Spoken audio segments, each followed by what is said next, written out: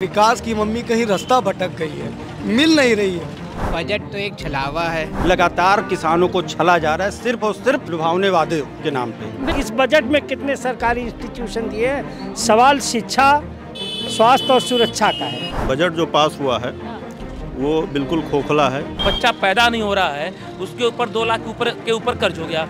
उनके पास सिर्फ़ एक काम है इस प्रदेश में कैसे धार्मिक तरीके से उन्माद फैलाया जाए और वो वही कर रहे हैं। मुझे नहीं समझ में आता है कि रोज़गार का कहने का आशय क्या है। गृह मंत्री कहते हैं कि जो है पकौड़ा तलना भी रोज़गार है। भाजपा का काम है अकलियतों का बंटवारा करना।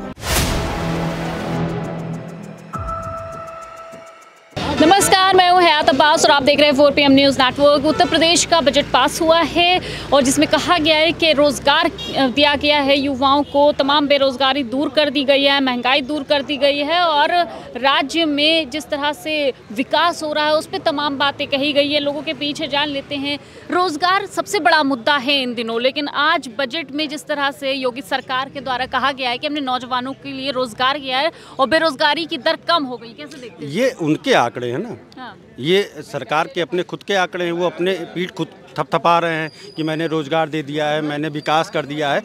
उनके पास सिर्फ़ एक काम है इस प्रदेश में कैसे धार्मिक तरीके से उन्माद फैलाया जाए? और वो वही कर रहे हैं। और कि कोई मोटिव नहीं है उनका एजेंडा सिर्फ़ यही है कि आपसी सौहार्द बिगाड़ना। ना उनके एजेंडे में विकास है ना उनके एजेंडे में युवाओं को रोज़गार है ना उनके एजेंडे में किसी किसानों के लिए कोई बात है। वो सिर्फ़ खोखले वादे हैं उनके। बिल्कुल आपने किसानों की बात कही। इस बजट में ये भी कहा गया कि हमने किसानों के लिए बहुत कुछ किया है और उनकी स्थिति काफ़ी पहले से सुधर गई है। ये उन, उन्होंने कहा है। अभी इनके यहाँ एक पिछली बार जब इनकी सरकार बनी थी तो प्रधानमंत्री किसान योजना आई थी।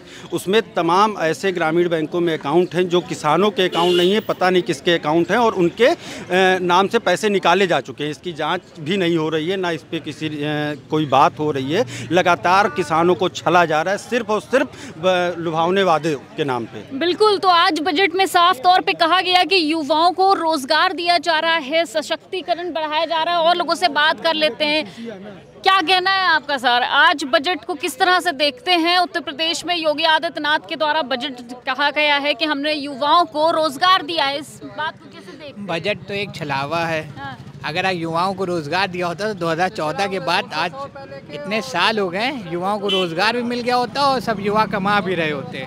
ढाई करोड़ रोज़गार पंद्रह लाख रुपए ये सब छलावा पूरा दुनिया देख रही है और 2024 में इसका करारा जवाब इनको मिलेगा। भारत जोड़ो नया यात्रा यूपी भी आ रही है। और बिहार जहाँ जहाँ आ रही है वहाँ वहाँ इनकी हालत ऐसी खराब हो रही है कि वहाँ ये विधायकों को खरीद के सरकार पलट दे रहे हैं। अभी बिहार दिल्ली में अरविंद केजरीवाल और सब आरोप लगा रहे हैं। तो क्या ये आरोप एक मुख्यमंत्री एक वहाँ का मंत्री आतिशी सब लगा रहे हैं? तो ये क्या ये बेबुनियाद आरोप है? इसमें कुछ तो सच्चाई होगी। कैसे देखते हैं आज के बजट को आप? आज के बजट को जैसा अध्यक्ष जी ने हमारे कहा हाँ। ये एक छलावा है। वाकई एक छलावा है। न इसमें युवाओं के लिए कुछ है न इसमें रोज़गार दिया जा रहा है न किसानों का कर्जा माफ़ किया जा रहा है न रेलवे की यात्रा सस्ती की जा रही है। तो काहे का बजट है ये? इस इस बजट में तो तमाम चीज़ें उन्होंने इतनी अच्छी अच्छी गिना दी हैं युवाओं के लिए कृषियों के लिए महिलाओं के लिए स्मार्ट सिटी बना दिया। अब और भी उसको आगे ले जाएँगे विकास करेंगे। कहने को तो इन्होंने पंद्रह लाख भी कहे थे कहने को तो ये कुछ भी कह दे धरातल पे कितनी चीज़ें उतर के आती हैं कितनी चीज़ें जो है अमल में आती हैं। कौन अधिकारी तुम्हारा काम कर रहा है जनता के लिए? एक नाम तो बताएँ। कैसे देखते भैया इस बजट को पिछले बजट में तो खिलौनों का ज़िक्र था। हाँ। अब किल खेलने का ज़िक्र है। अच्छा। पहले खिलौनों का ज़िक्र था अब किल खेलने का ज़िक्र है। असल बात नाराज़ है इतना? युवाओं के लिए तो इतना कुछ कर दिया। रोज़गार की बात कर रहे हैं। महँगाई दर कम हो गई है। कह रहे हैं कि बेरोजगारी कम हो गई है। बेरोजगारी कम हो गई है, मगर स्मृति ईरानी के लिए जो तीन सौ निन्यानबे के सिलेंडर पे संसद भवन के बाहर बैठती थी, एक हज़ार पे अपने घर पे बैठी हैं। बेरोजगारी ख़त्म हो गई है। जब एक रुपए पेट्रोल पे बढ़ता था तो पूरी भाजपा पागल हो जाती थी। आज सौ रुपये में पेट्रोल है, भाजपा ख्याल नहीं कर रही है। भाजपा का काम है अकलियतों का बंटवारा करना। सरकार चलाना उनका काम नहीं है, ना उनका कोई मकसद है। हैं हम पूरे बहुमत से फिर आएँगे नहीं। नारा दे रहे नहीं तो ईवीएम है तो ईवीएम पर वो कुछ भी कर सकते हैं। अब वो वाला मसला है जिसकी लाठी उसी की भैंस। अब भाजपा के पास लाठी है अगर लाठी के दर पे सरकार उसने बिहार में बना ली इससे पहले कितने राज्यों में बना लिए राजस्थान में भी खेल कर रहे थे हो नहीं पाया खेला। तो इनका मकसद ही ये है किसी शायर ने कहा नहीं है ये सरकार गाय से शुरू हुई थी चाय पर आके अटक गई है। विकास की मम्मी कहीं रास्ता भटक गई है मिल नहीं रही है। देश को नहीं मिल रही है। आज क्या है? हमारे लिए क्या दिया है? हम क्या है? आपके स्टूडियो के सामने पकौड़े बेचेंगे? एम टेक बी टेक करके क्या करेंगे लड़के? तो पकौड़े तलना भी तो बिज़नेस है हाँ बिज़नेस है तो हमेशा अपने लड़के को करवाएँ। उनका लड़का क्यों नहीं कर रहा? उनका लड़का क्यों है जो बी का चेयरमैन बना बैठा है? देखिए बजट जो पास हुआ है। वो बिल्कुल खोखला है। इस बजट में कुछ नहीं है। अब चूँकि इनका आखिरी बजट था इनकी सरकार जाने वाली है। अच्छा। लास्ट इनका बजट है तो इन्होंने मीडियम वर्ग के लिए मध्यम वर्ग के लिए इन्होंने कुछ किया नहीं है। और वैसे भी मोदी सरकार पिछले 2014 से जब से आई हुई है तब से केवल जादू ही चला रही है। जादू के अलावा कोई काम किया नहीं है। केवल धर्म के नाम पे लोगों को लड़ा रहे हैं जाति और धर्म के नाम पे। अभी इन्होंने यहाँ की जनता को पूरे देश की जनता को इन्होंने बांटा। पहले ये कहते थे कि हम ओबीसी हैं, ये दलित हैं, ये माइनॉरिटी हैं, ये फला हैं, ये धमाका हैं। उसके बाद फिर इन्होंने अमीर और गरीब। अब चूँकि दो ही वर्ग में बांटा गया है, इन्होंने कहा एक अमीर हैं, एक गरीब हैं।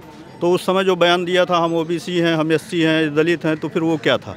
और इनके जुमले हैं खाली जो ये कहते हैं, केवल धर्म की राजनीति करते हैं। अभी राम मंदिर का हाँ, आप एक युवा हैं और युवाओं के लिए तो आज का बजट कह रहे हैं। हमने युवाओं के लिए खास तौर पे उस पर ख्याल किया है। उनकी नौकरी उनके रोज़गार आप बताइए आप बताइए आप एक पत्रकार हैं आप लोगों से बात कर रहे हैं आपने भी बजट देखा था। हाँ। तो युवाओं के लिए क्या है? आप ही बता दीजिए। मैं तो वो- धरातल वो- पे सच्चाई जानने के लिए लिखी नहीं तो धरातल पे आप सच्चाई जान रही हैं तो आपको भी पता होगा कि युवाओं के लिए क्या किया है इन्होंने। आज तक एक पैसे की नो, कहीं नौकरी निकल रही है।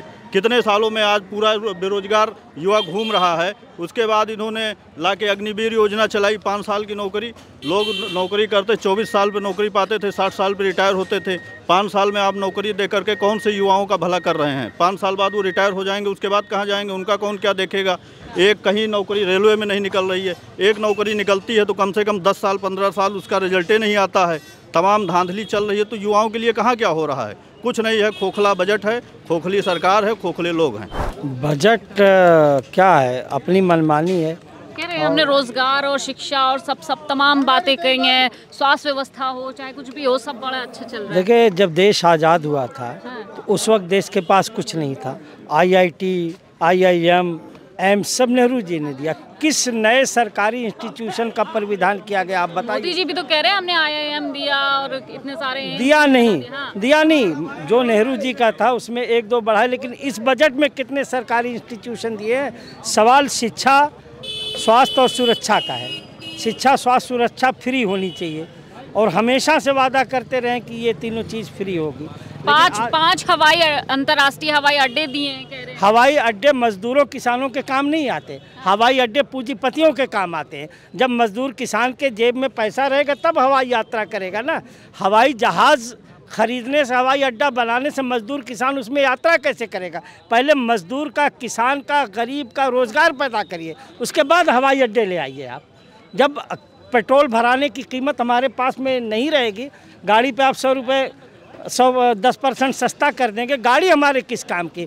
हमें तो पब्लिक कन्वेंसेज की ज़रूरत है। हमने इतनी रकम वो बढ़ा दी है सैलरी बढ़ा दी है और जो कमाई है वो बढ़ा दी है इसलिए मैं सैलरी किसकी बढ़ी है? आप बताइए कि कोई नौकरी है ही नहीं सरकार के पास तो सैलरी किसकी बढ़ रही तो है? कह रहे बेरोजगारी दर सबसे कम हो गई। कहाँ कम हो गई है? सबकी सब ठेकेदारों को दे दी गई है नौकरी। जो मजदूर एक चपरासी अगर तीस हज़ार तनख्वाह पाता था उसको बारह हज़ार रुपये दिए जा रहे हैं। ठेकेदार को तीस हज़ार रुपये ये पूरे पूंजीवाद के समर्थन में सरकार खड़ी है। इसका जनता से गरीब से कोई लेना देना रहे हम गरीबों की सरकार है। उनके कहने से क्या होगा? वो तो कह रहे हैं कि हम पंथ निरपेक्ष हैं और सांप्रदायिकता का तांडव खेल रहे हैं देश में। देश को हिंदू मुसलमान में बांट रहे हैं। सरकार सिर्फ़ धर्मों पर चलाई जा रही है। विकास की बात नहीं हो रही है। आप बताइए कि कहीं विकास की बात किए जा रहे हो। कोई विकास की बात नहीं। आज ये मंदिर बनेगा आज ये मस्जिद टूटेगा मंदिर मस्जिद से किसी का पेट भरेगा। ये तो कह रहे हैं हमने बहुत विकास किया है और आगे भी विकास होगा। अंतर्राष्ट्रीय हवाई अड्डे दे दिए हैं सड़कें सड़क जो चौड़ीकरण है हमने वो फिर वही जवाब देना हमें कि हवाई अड्डे बनने से जब गरीबों के पॉकेट में पैसा रहेगा तब तो हवाई यात्रा करेंगे वो। पैसा तो है ही नहीं है। तो हवाई अड्डे बनवा करके आप अंबानी को बेचिए अडानी को बेचिए बड़े बड़े पूंजीपतियों को बेचिए आज सब हवाई अड्डे बच बिक चुके हैं और एक मंत्री भी है बिना बिना जहाज़ का मंत्री। एक जहाज़ नहीं है एयरलाइंस बिक गई है और मंत्री सिविल एविएशन मिनिस्टर आपके पास पड़ा है। तो क्या मतलब है? खाली ये हवाई बातें इनकी कोई युवाओं के लिए कहा गया है सबसे अच्छा बिल है ये अब तक का और युवाओं के लिए इसमें बहुत बात कही गई है नौकरी रोज़गार की बात कही गई है। कहाँ पे है नौकरी? कौन किस रोज़गार की बात कर रहे हैं? जहाँ पर आप देखिए जो व्यवस्थाएँ कांग्रेस सरकार में बनाई गई थी नौजवानों के लिए जो एक पेंशन का सिस्टम बनाया गया था तो पेंशन तो ये दे नहीं रहे हैं तो कहते हैं कि अग्निवीर बनिए चार साल में जो है नौकरी करके आप छोड़ दीजिए। नौजवान दर दर की ठोकरें खा रहा है। आप बेरोजगारी दर की बात करिए कितना परसेंट हो गया है? इन्होंने कहा कि हर साल हम दो करोड़ लोगों को रोज़गार देंगे। तो क्या इन्होंने पिछले नौ साल तो बीत गया अब इलेक्शन होने वाला 24 जी कह रहे हैं अब तक छह लाख युवाओं को रोज़गार दे चुके हैं। कहाँ पे? छः लाख युवाओं को जो रोज़गार दिए संविदा पे। रोज़गार का मतलब अब तो मुझे नहीं समझ में आता है कि रोज़गार का कहने का आशय क्या है। क्या रोज़गार तो कहते हैं हमारे जो है गृह मंत्री कहते हैं कि जो है, पकौड़ा तलना भी रोज़गार है।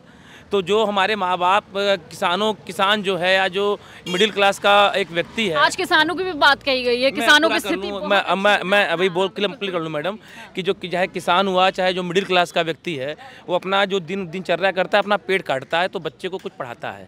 तो एक उसकी सोच होती है कि जब लड़का बड़ा होगा तो मेरा भलन पालन करेगा ठीक? बड़ा होने के बाद जब आप कहते हैं पकौड़ा ही तलना है तो वो है कहाँ कुछ? आप कहते हैं रोज़गार कर लीजिए रोज़गार कर लीजिए लोन ले लीजिए कर्जे में हो जाइए।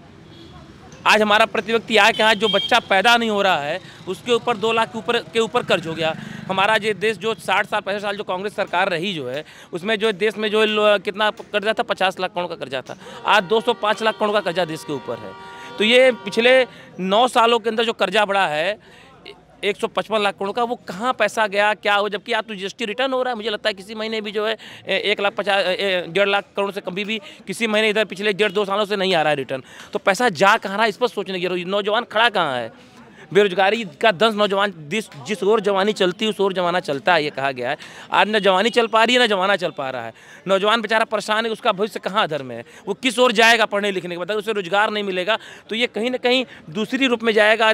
तमाम छीना झपटियाँ बढ़ेंगी मार काट बढ़ेगा लोग। भाई क्योंकि जीना है तो पैसे की ज़रूरत है। और अगर रोज़गार नहीं, व्यवस्था नहीं तो युवा कहीं ऐसा न हो किसी दूसरे रूप में जाए, जो हमारे और देश के लिए खतरनाक हो सकता है। बिल्कुल बिल्कुल। तो आज यूपी का जो चुन बजट पेश किया गया और जितनी बातें कही गई हैं, धरातल पे वो आखिर कितनी हकीकत है और कितना फसाना है, यही जानने के लिए लोगों से बातचीत कर रहे थे। और इसी तरह लोगों से बात करते रहेंगे और सच्चाई आप तक पहुंचाते रहेंगे। कैमरा पर्सन सत्यनारायण के साथ मैं हैत अब्बास हो पी न्यूज़ नेटवर्क